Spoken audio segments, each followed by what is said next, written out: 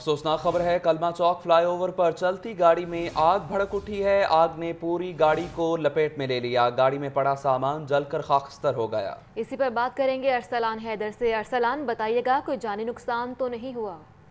बिल्कुल किसी किस्म का कोई जाली जानी नुकसान तो नहीं हुआ लेकिन कलमा चौक फ्लाईओवर पर चलती गाड़ी में जो है ये आती सदगी का वाक्य पेश आया है।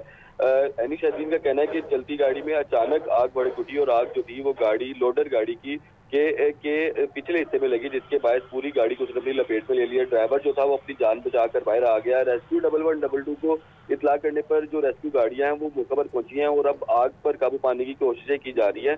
आग लगने से गाड़ी पर जो ट्रैफ़िक थी वो काफ़ी मुतासर हुई है क्योंकि कलमा चौक फ्लाईओवर पर आने वाली जो ट्रैफ़िक थी उसे रोक दिया गया। पुलिस और ट्रैफ़िक पुलिस ये भी बताइएगा कि इस गाड़ी में कौन सा सामान मौजूद था और ट्रैफ़िक की रवानी के हवाले से बताएँ।